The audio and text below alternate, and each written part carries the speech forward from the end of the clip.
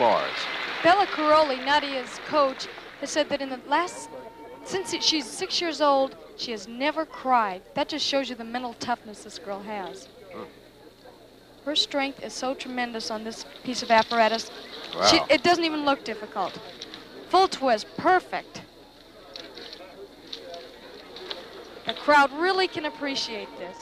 She so works so easily. Continuous motion, non-stop. Watch this now. They're called two flanges. Watch this dismount. Beautiful. Unbelievable. This girl is really going to be a winner. Really a champ. Nadia Comaneci. Okay, here she goes. Right into her dismount. She must get a, a good rotation.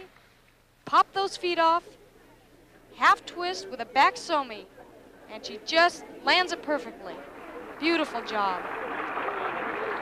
And the score for Nadia Comaneci on the uneven bars, 9-9-0. She deserves it. Beautiful.